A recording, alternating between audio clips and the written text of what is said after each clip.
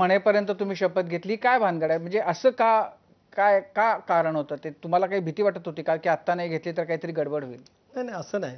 काय काय वेळेला राजकारणामध्ये काही काही वेळा असतात किंवा काही अचूक टायमिंग असतं. सगळ्याच गोष्टीची काय स्पष्टता दिली पाहिजे अशातला काय भाग नाही बरं अचूक टायमिंग म्हणजे काय? म्हणजे आता नाही नाही आता त्या दिवशीची अशी स्थिती निर्माण झाली असेल की त्या तुम्ही हे ठरलं कधी? तुम्हाला माहिती असेल की हे आपल्याला भाजप बरोबर जायचं हे तुमचं नेमकं कधी ठरलं? नाही नाही ज्या वेळेला तीस तारखेला आम्ही एकत्रितपणाने बैठकीला तुमच्या डोक्यात तर आधीपासून घोळत असेल ना? एकोणीस पासूनच घोळत असेल एकोणीस पासनं जरी घोळत होतं.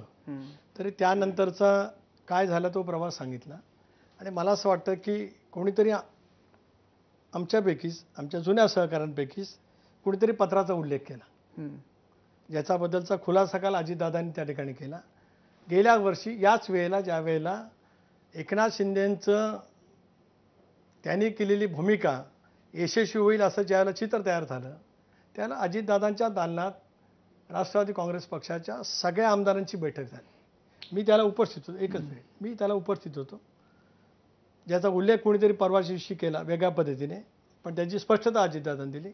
त्यावरती राष्ट्रवादीच्या सगळ्या मंत्र्यांची आणि सगळ्या आमदारांच्या सह्या त्या ठिकाणी होत्या. म्हणजे राष्ट्रवादी काँग्रेस पक्षाच्या पूर्णपणाचं स्पष्टपणाचं मत सरकारमध्ये जावं असं त्या ठिकाणी होतं. आज जे काही प्रश्न विचारतात तेही त्या ठिकाणी होते की नाही आपण सरकारमध्ये असलंच पाहिजे. त्यामुळे हे काहीतरी काल दादाने वेगळं केलं दादाने एकट्याने केलं तर असं नाही. ही भूमिका सर्वांनीच घेतलेली होती.